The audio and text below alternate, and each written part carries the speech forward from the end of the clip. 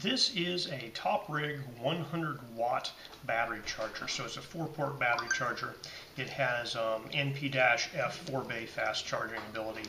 Um, and so this is for like the F550 up to the F970. So I was sent this to review for free. Um, if you wanted to purchase it, I've seen it for sale between $45 or um, $35 on sale. Inside the box we get a little manual, the unit itself, and in this white box here we have a USB-C to C cable.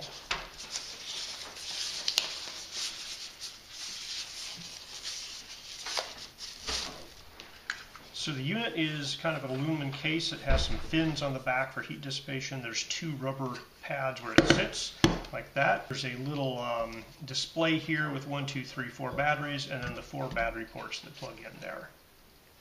So it has two different charging modes. So the first mode is smart power mode, and in that mode it can use up to a total of 90 watts. So it needs a power delivery 100 watt um, supply, um, and it'll do 2.7 amps to each of these batteries. Now if you put it in the safe mode, it'll limit its output to 0.6 amps, or basically um, 5 watts per battery, so 20 watts total.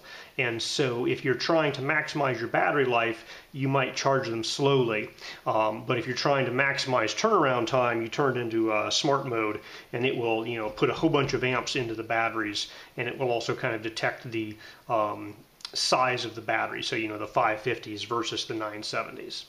And it has different color displays here for what's going on with each battery. Now this is a desk or table or shelf mounted um, in that it sits flat. It doesn't have any way to mount it to a wall. There's no holes to mount it into anything. So there's no latches on the battery compartment so it counts on gravity to hold the batteries in place. All right, they've already made a design decision I do not agree with is that the power port is coming out the front. So if you have this sitting on a table or a desk, I want the power port coming out the back to go, you know, to the back wall or whatever. Instead, it's going to come out the front and then it's going to have to, you know, make a turn, go back to wherever your power outlet is. Unless you have a desk with, you know, outlets in the front of it or something, um, I would really wish that USB-C port was on the back here.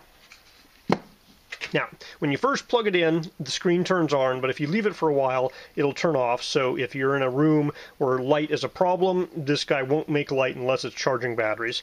You push the button, it pops up, says, hey, no battery. All right, so the quality of the USB power supply matters. Here it just says power detection. I have it kind of plugged into kind of a 20 watt USB phone charger. So I'm going to unplug it from that and I'm going to plug it into a 65 watt power delivery charger. And so now it says power delivery in 65 watts and there's a thing that says smart here. If you push this, it goes to safe. Push it again, it goes back to smart. If you push and hold for three seconds, um, it will go to a battery activation mode. And that's basically if you have a battery that's kind of so low that it doesn't want to charge it, it'll just kind of give it a little bit of juice to try to bring it up to the correct voltage to activate it. Now I don't know how to get out of battery activation mode. I'm going to try holding for three seconds. That seemed to work. Now this says power delivery in 65 watts. If I plug it into a 100 watt power delivery charger, it will detect that, it, hey, now I'm connected to a 100 watt charger.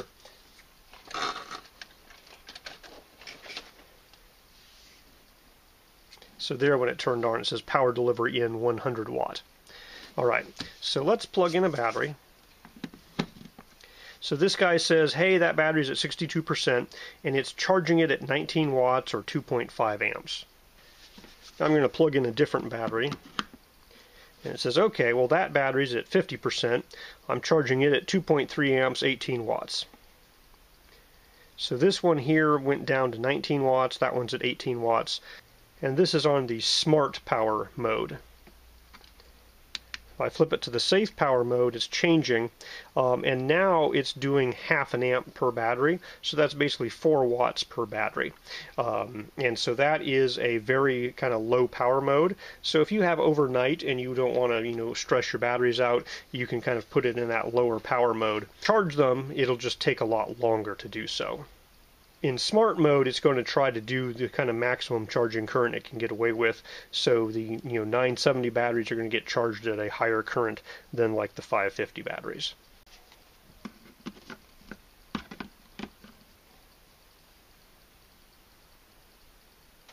So here it's doing 19 watts to each battery, um, and this is with a 4 this is with a 100 watt charger coming in.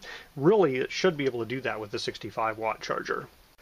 Alright, I've plugged this into the 65 watt charger and it's still delivering 19 watts to each of these two batteries. So the total input here says 41 to 42 watts going in.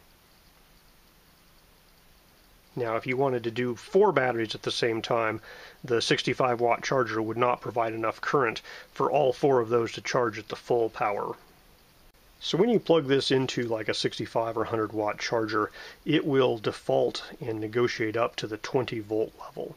So at the 20 volt level, this guy just sitting here idle is drawing 0.7 watts. So it's not a large draw for an idle device, um, but it is drawing a little bit of power when it's sitting there.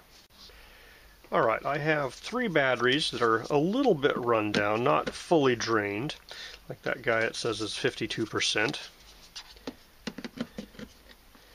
Says that one's at 26%.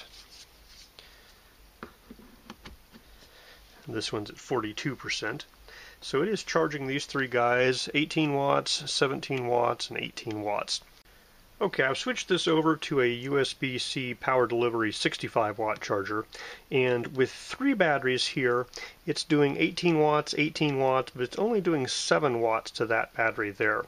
Um, so it looks like you know it's only drawing 40 watts so that 65 watt charger could give a little more power um, but it looks like it's stepped back a little bit on this battery so it's you know 18 18 and 7 Okay, let's try some batteries here.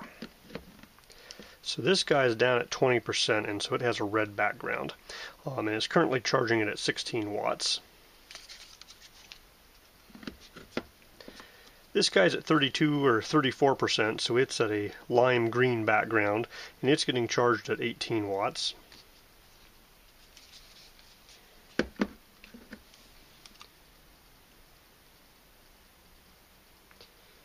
That guy just says no battery. Um, so apparently I have ran this guy down so far, I pushing the buttons isn't popping anything up, and it's not even detecting it. So we're going to be able to try the battery activator function on that guy. And then this guy, he's at 57%, um, so he gets a lime green as well, um, and he's charging at 19 watts right now. So this guy just flipped up to 31% and so it gets lime green and it is uh, 17 watts.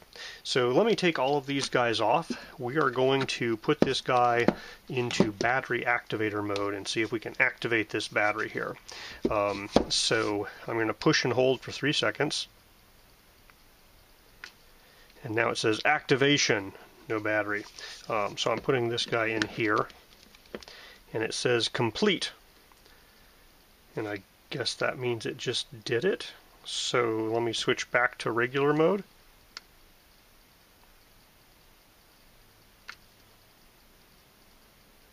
Oh, look, now it knows it's a battery, it's at 19%, it's charging it up. All right, so I believe that battery, battery activation basically just says I'm going to put some current on all of these pins or maybe some voltage on all of these pins so that a BMS in the battery will say, hey, I'm getting charged, I'm going to reactivate and connect. So let's put all these batteries on to charge.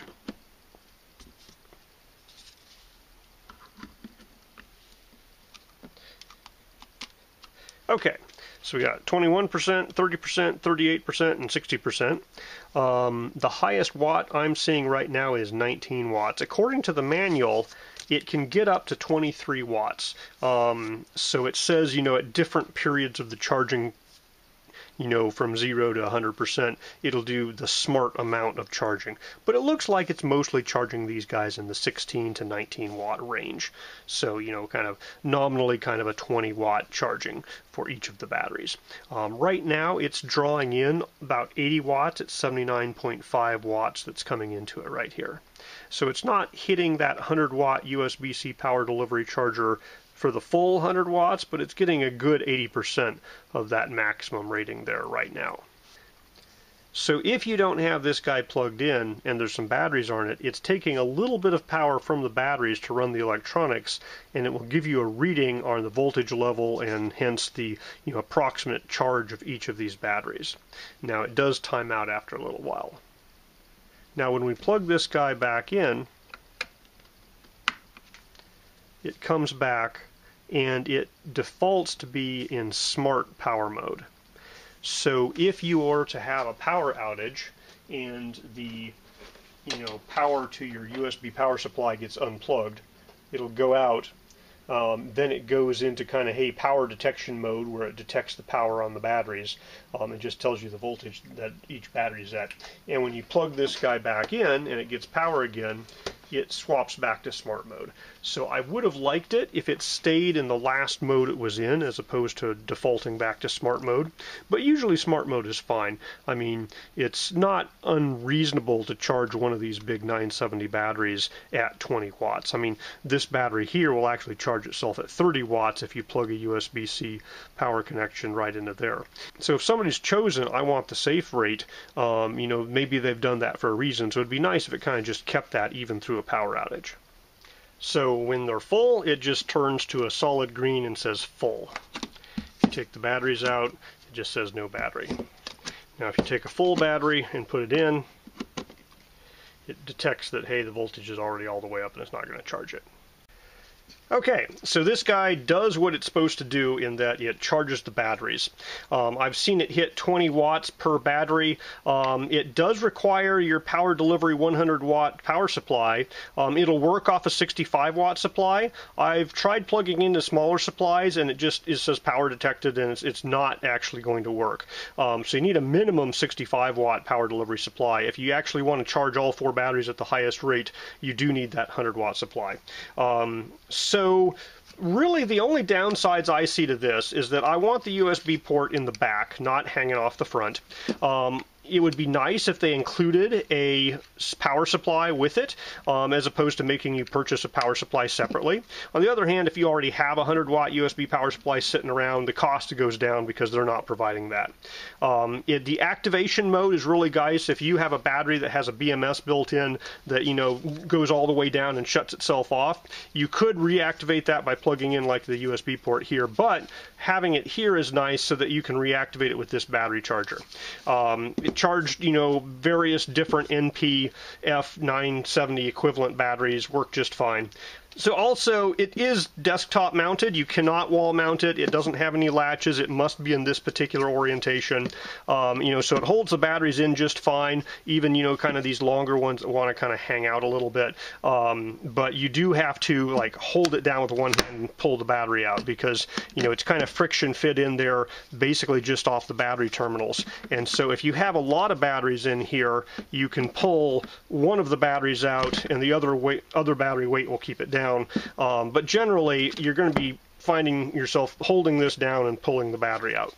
So comparing it to a different 4-port battery charger I have that's also USB-C powered, um, the display is nice. It has a, a nice, easy-to-read display. You know exactly what's going on. This guy just has, you know, some battery bars that kind of flash at you. I like the fact that this guy has these little latches, and so you can put the batteries in. It also can be hung from a nail, so you can hang it on the wall, and it has the quarter by 20 slot um, port on the back, so you can you know, mount this to anything with a quarter by 20 slot. Um, Um, and so if you want something wall mounted, you know, this is a guy for you. Um, this guy here charges batteries a little faster. Um, you know, so it'll go up to 20 watts per battery. So that's a little better than this guy over here. Now this guy does have an extra USB A port right there. Um, and so you can use it kind of to charge a cell phone in addition to um, the batteries. And it also will take power from the batteries to charge something at 5 volts off that port. So if this is, you know, you're taking kind of portable with you, it makes kind of a, a you know, a, a little cell phone charger off of your batteries, and that's just a little added extra feature. Um, but for you know kind of home base station fast charging, this guy here goes a lot faster.